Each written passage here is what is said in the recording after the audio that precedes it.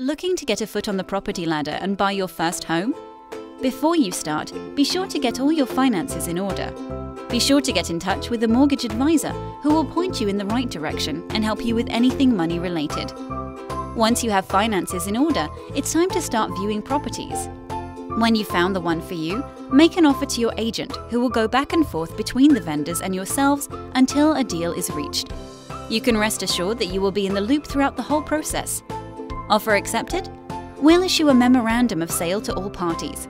The mortgage company will arrange a valuation, and the bank will be happy to lend you the money after they approve.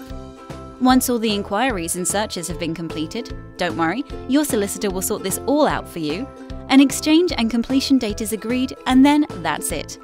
All that's left to do is collect your keys and move into your new home. Unsure of anything?